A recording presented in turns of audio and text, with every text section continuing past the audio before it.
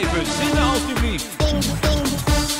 Als ze in Welle iets doen, dan doen ze te goeie. Oh, oh, oh, oh, la, la. Dus als er in Welle kermis is, staat heel de gemeente op zijn kop. Hallo, baby. Ja, de kermis in Welle leeft en wij zijn ook bijzonder fier op onze kermis. We zijn een kleine gemeente, maar we hebben hier toch ieder jaar een 65-tal uh, kermisattracties, wat eigenlijk heel groot is in uh, vergelijking met de grootte van onze gemeente. En zeker ook in de omliggende gemeente. Ik denk dat wij een beetje uniek zijn, een kleine gemeente met 65 kermisattracties. Dat is al jaren een traditie en we gaan die zeker ook in ere houden. Attention!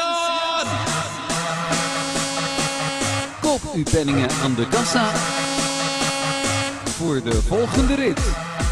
Elke Wellenaar heeft zo zijn favoriete attractie. En dat is voor de burgemeester niet anders. Ik ben gisteren met mijn neefje in de Rups geweest. Dus dat was ook een beetje nostalgie.